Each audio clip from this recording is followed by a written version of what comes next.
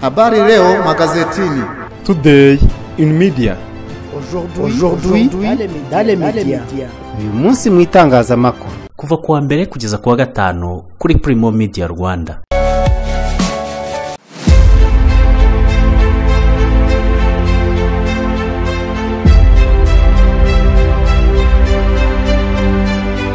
ndabasuje kandi abifuriza ibihe byiza nshuti bakunzi ba Primo Media Rwanda turi ku itariki ya mirongo itatu n'imwe z'ukwezi kwa cumi mu bibiri na makumyabiri na kabiri.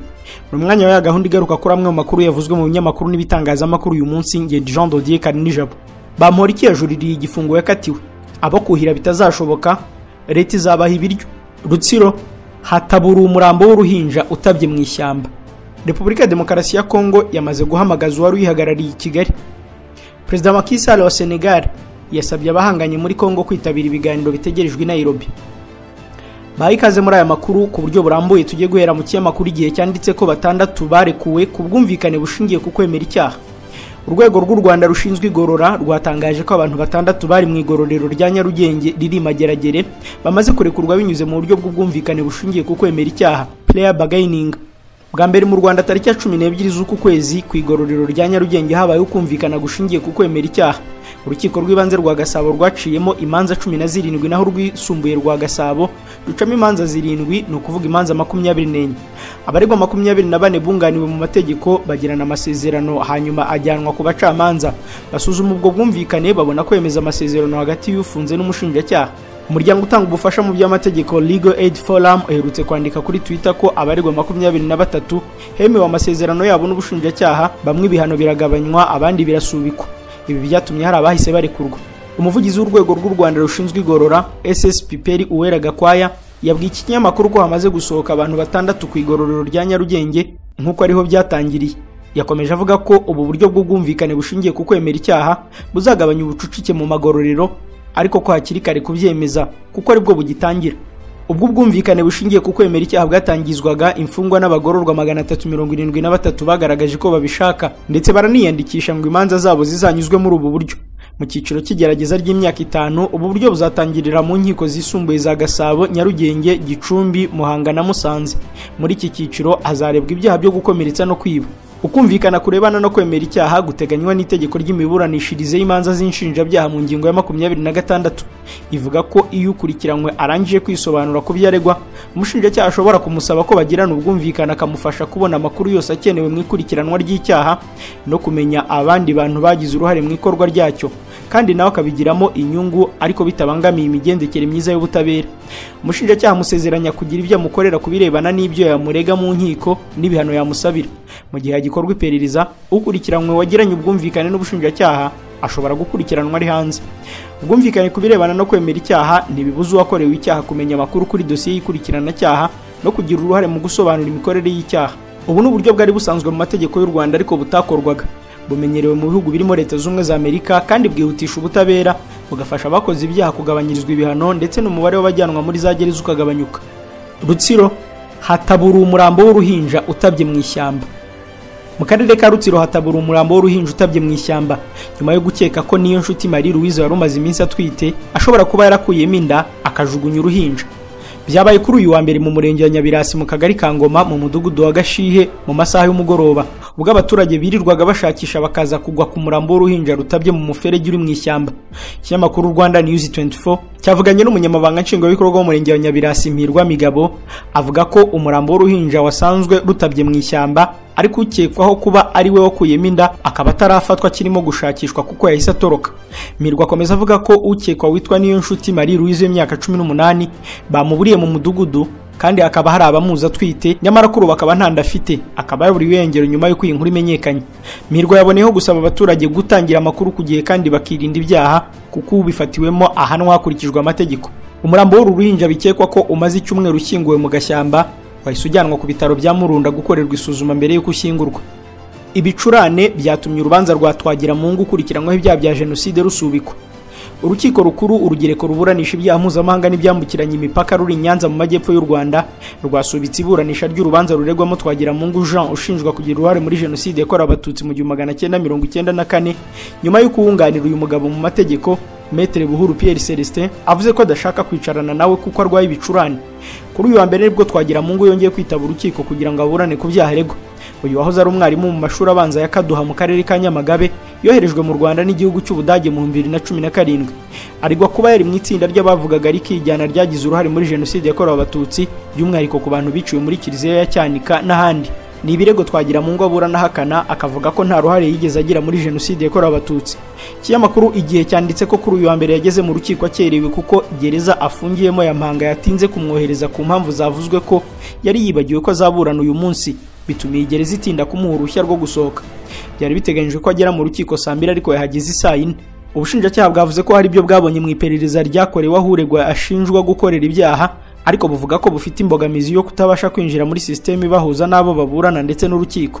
Metere buhuru pierre celestin yavuze ko yunganira arwaye ibicurane bityo ko atifuza ko bicarana kugira ngo atabimwanduza. Twagira mu nawe yavuze ko arwaye ariko yihanganye akitaba urukiko kugira ngo bidafatwa nk'agasuzuguro. Yakomeje avuga ko afite n'imbogamizi zo kuba atarahawe raporo na gereza igaragaza ibyabereye aho ubushinjacyaha buvuga ko yakoreye ibyaha. Urukiko rumaze kumva impande zombi rwahise rusubika iburanisha ruvuga ko rutaburanisha umuntu urwaye kandi n'imbogamizi yagaragaje yo kutabona raporo ikwiye kubanza gukurwaho. Rwategetse ko iburanisha rizakomeza tariki ya kabiri z'ukwa cumi n'abiri muri uyu mwaka. Bamporiki yajuririye igifungo yakatiwe. Ikinyamakuru bwiza cyanditse ko bamporiki eduard wahoze ari umunyamabanga wa leta muri minisiteri y'urubyiruko n'umuco yajuririye igihano aherutse guhabwa n'urukiko rwisumbuye rwa nyarugenge nyuma yo kumuhamya ibyaha byo kwihesha ikintu cy'undi hakoreshejwe uburiganya no gukoresha ububasha ahabwa n'itegeko mu nyungu ze bwite. Tariki ya mirongo itatu z'ukwa cyenda uyu mwaka ni bwo urukiko rwakatiye bamporiki igifungo cy'imyaka ine no gutanga ihazabu ya miliyoni mirongo itandatu z'amafaranga y'u rwanda. Amakuru avuga ko bamporiki waburanye adafunze yahise ajuririra icyo gihano yahawe cyakora kugeza ubu igihe ubujurire bwa bamporiki buzaburanishirizwa ntikiramenyekana. Bamporiki yatangiye gukurikiranwa mu kwa gatanu k'uyu mwaka ahita anahagarikwa ku mirimo. Ubushinjacyaha bwari bumukurikiranye ibyaha birimo kwakira indonke ya miliyoni eshanu no gukoresha ububasha ahabwa n'amategeko mu nyungu ze bwite. Ni ibyaha bivugwa ko byavuye ku ifungwa ry'uruganda rwa rwiyemezamirimo gatera norbert rwafunzwe n'umujyi wa kigali kubera kutuzuza ibisabwa. Ubushinjacyaha buvuga ko mbere yo kugira ngo uru ruganda rufungwe bamporiki ari we watanze amakuru nyuma aragaruka abwira nyirarwo ko yamufasha rugafungurwa akamuza n'ushinzwe imyubakire n'ibikorwa remezo mu mujyi wa kigali. Icyo gihe ngo gatera yabajije bamporiki amafaranga yatanga kugira ngo bikorwe. Bemeranya guhurira kuri hoteli yitwa Grand Legacy bamporiki amwizeza ko amuhuza na visi meya Merari Mpabwa n'amaguru akamufasha gufungura urwo ruganda. Uruhande rwa bamporiki rwireguye ruvuga ko amafaranga yahawe atari indonke ahubwo ari ishimwe dore ko we na gatera ngo bari basanzwe ari inshuti. Yanavuze ko atigeze akoresha umwanya afite mu nyungu ze bwite kuko mu bubasha ahabwa n'amategeko atari ashinzwe gufunga cyangwa gufungura ibikorwa by'ubucuruzi. Abo kuhira bidashoboka leta izabaha ibiribwa. Umuyobozi mukuru w'ikigo gishinzwe ubuhinzi n'ubworozi rab dr. Patrick karangwa arizeza ibiribwa abaturage badafite icyizere cyo kuzabona umusaruro bitewe n'imvura yabuze hamwe na hamwe mu gihugu.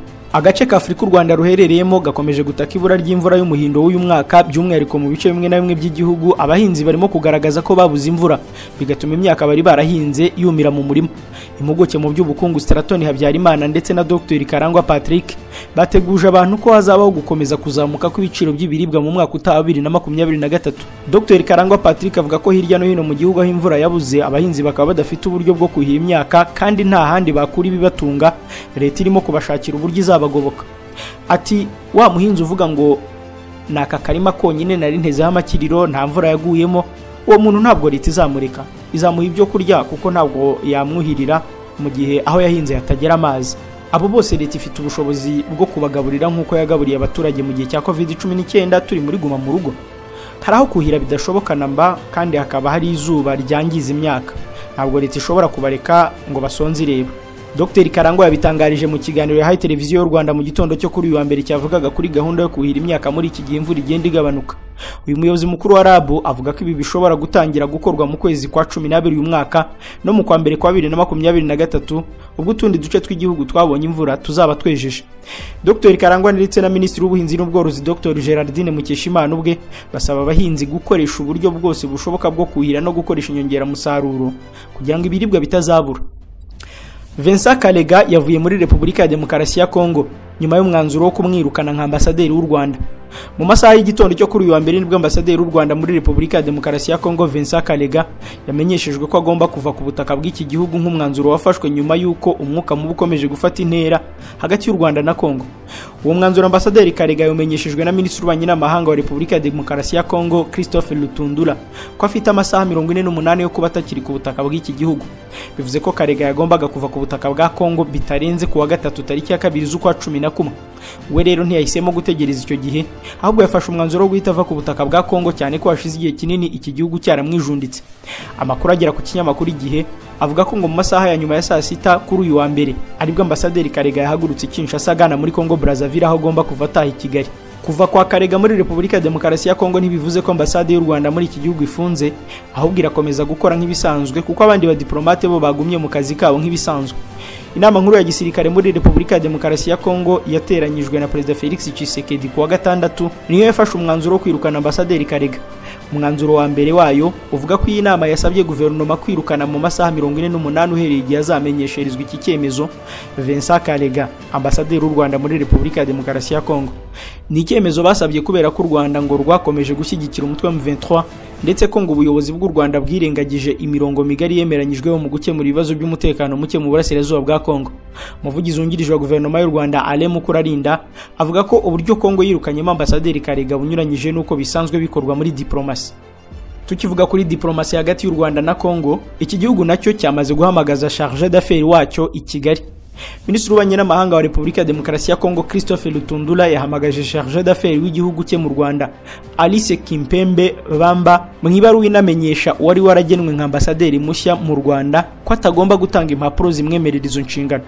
Ibaruwa yahamagarijwemo alice kimpembe imumenyesha ko agomba kuba yasubiye kinshasa ni na yo yamenyesherejwemo ambasaderi w'u rwanda muri kongo vincent karega ko agomba kuva ku butaka bw'icyo gihugu mu gihe cy'amasaha mirongo ine n'umunani. Ibaruwa ya rutundura ivuga ko uwari waragenwe nka ambasaderi wa kongo mu rwanda yategetswe kudashyikiriza abayobozi b'u rwanda impapuro zibimwemerera kugeza igihe azahererwa amabwiriza mashya. Ni mu gihe kimpembe wari umaze igihe kinini ari uyobora ambasade ya kongo i kigali we yahamagajwe i kinshasa kugira ngo ajye kuganira n'abayobozi be ku bibazo biri hagati y'u rwanda na kongo hashize imyaka igera ku icumi repubulika ya demokarasi ya kongo itagira ambasaderi mu rwanda ahubwo inshingano zifitwe na charge d'affaires.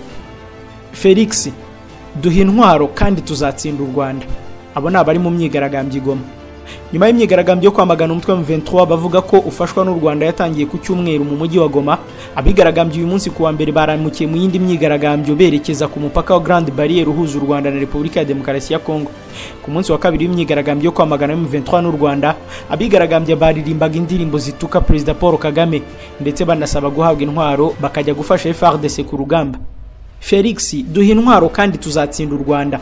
Ibi ni ibyaririmbwaga n'abigaragambye igoma bamagana M23 muri iki gitondo mu giswahili nk'uko iyi nkuru ya interview akadomo sede ikomeza ibivuga. Abigaragambya batumiye uburusiya n'ubushinwa mu gufasha ingabo za kongo nk'uko byagaragaraga ko byapa bari bitwaje.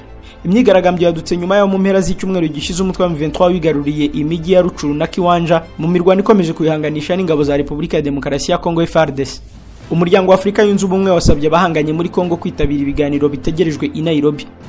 Perezida uyoboye umuryango wa afurika yunze ubumwe Macky Sall wa Senegal na perezida wa komisiyo y'uyu muryango Musa Faki Mahama basabye ko intambara iri muri Kongo ihagarara.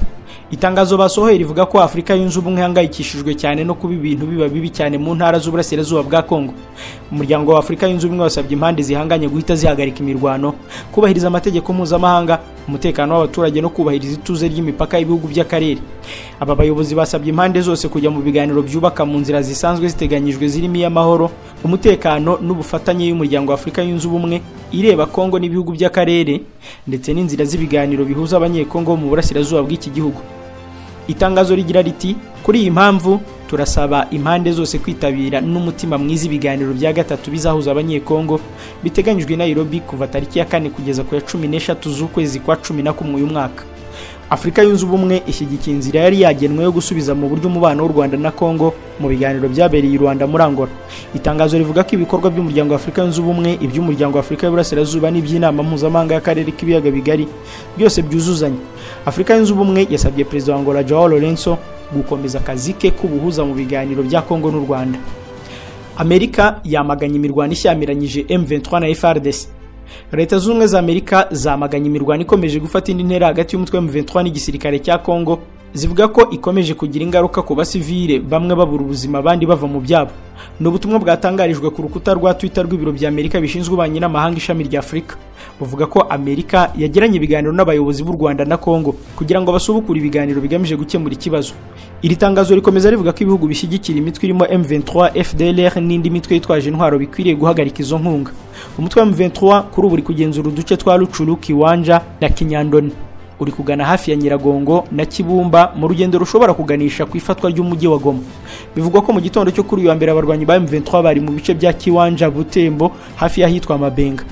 Aho imirwano yaberaga ni mu gace ka kibumba ugana ahitwa kanyamahoro mu birometero mirongo itatu uvuye mu mujyi wa goma. Inshuti bakunzi ba primo media rwanda dusoreze aya makuru mu gihugu cya brezil aho lula da silva yatorewe kuyobora brezil Luiz Inacio Lula da Silva yatorewe kuyobora Brazil mu matora y'icyiciro cya kabiri yatsinzemo Jair Bolsonaro wari usanzwe ku butegetsi. Lula w'imyaka mirongo irindwi n'itandatu yatsinze agize amajwi mirongo itanu n'ibice umunani ku ijana ugereranyije n'aya mugenzi we Bolsonaro wagize mirongo ine n'icyenda n'ibice bibiri ku ijana. Uyu mugabo agarutse ku butegetsi bwa Brazil nyuma y'uko n'ubundi yari perezida wayo hagati y'umwaka wa bibiri na gatatu na bibiri na cumi.